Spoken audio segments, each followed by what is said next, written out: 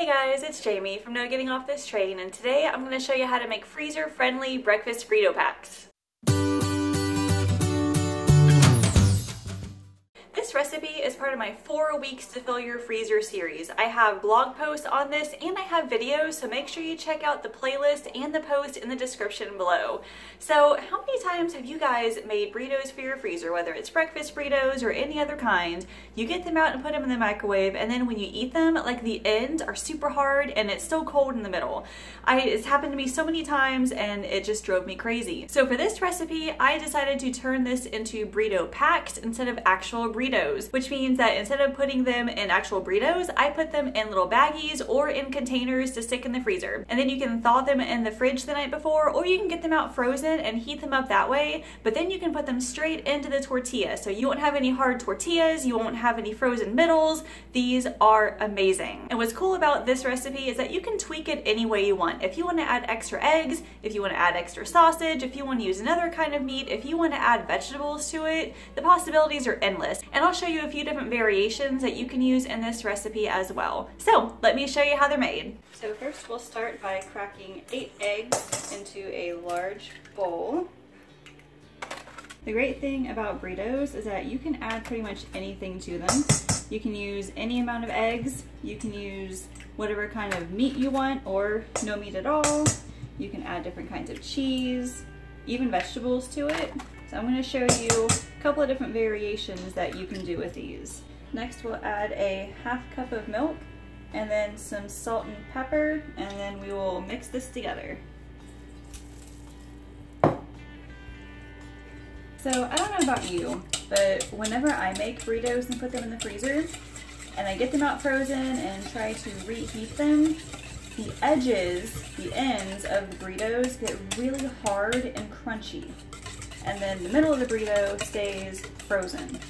And I don't like eating them that way, obviously, as you probably don't either.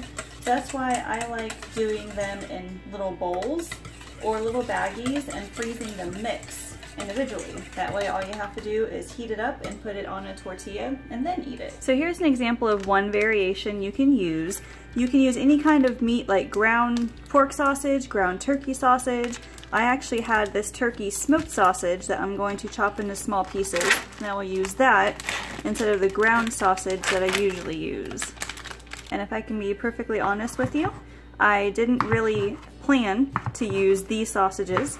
I use Walmart's grocery pickup and I had ordered a roll of ground turkey sausage, but they were out, so they substituted this instead. Not sure that normally I would have gone for something like this, but, I mean, it's still sausage. I'm putting it in burritos, so it'll still work. And it cuts the cooking time down by quite a bit because these are already fully cooked.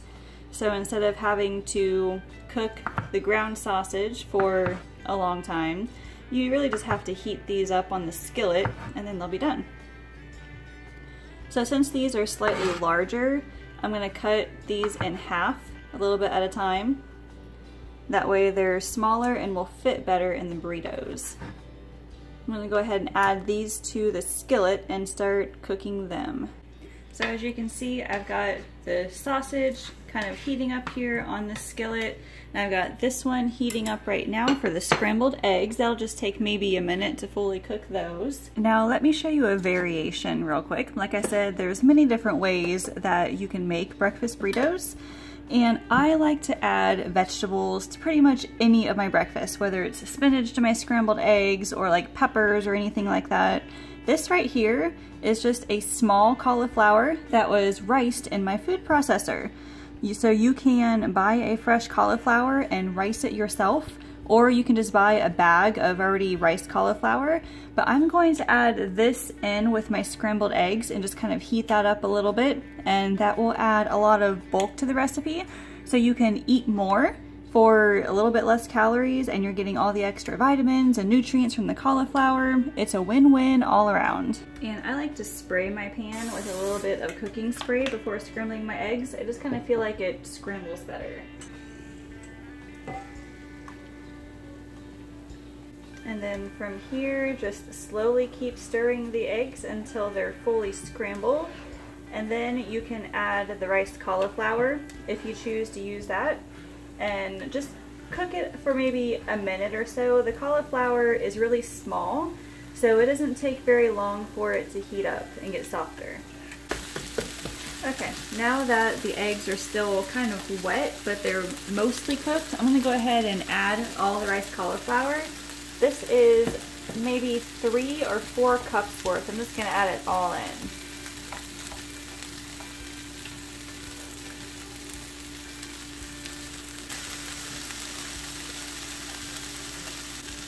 Now remember, you don't have to use vegetables in this. You don't have to add cauliflower, but look at how much it added to these eggs. You might not be able to fit all the mix into the burrito. You might have to do like, eat half on the burrito or and half on the side or something. It'd still be good.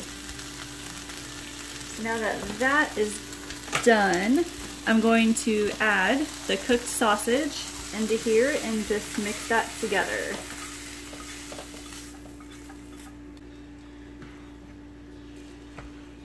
Might be easier actually to use a spoon now rather than the spatula.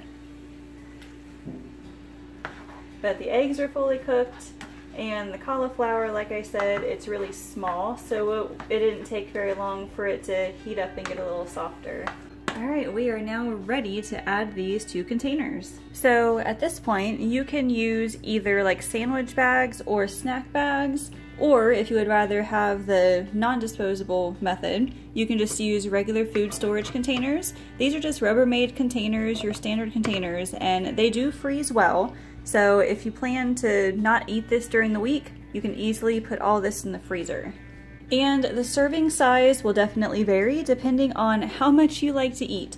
The original recipe that I did served 10, but if you like to eat a lot, or if you're trying to up your calories, you can lower the serving size and turn it into eight or even six servings like I am right now. Down in the description, I'm going to try to include calorie counts, just depending on how many servings you want to get out of it. So I'm actually going to start with a half cup.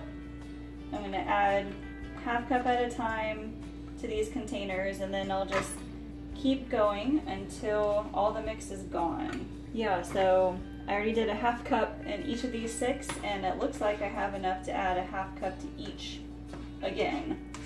So one cup of mix per burrito, that is quite a lot.